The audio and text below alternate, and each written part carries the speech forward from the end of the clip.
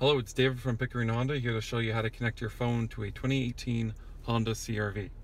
First things first is you want to open your phone and click settings. Click Bluetooth. Make sure your Bluetooth is on. And then we'll click settings here.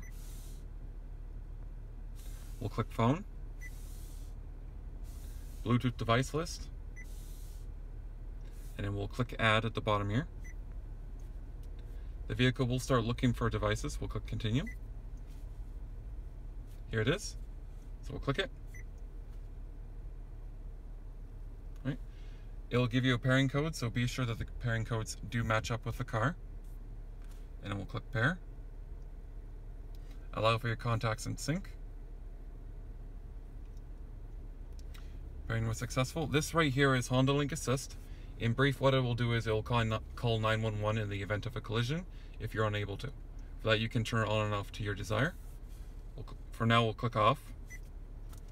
And this right here, um, you do have the option of using Android Auto and Apple CarPlay. What that will do is you can pair your, um, you plug in your phone using this USB down here.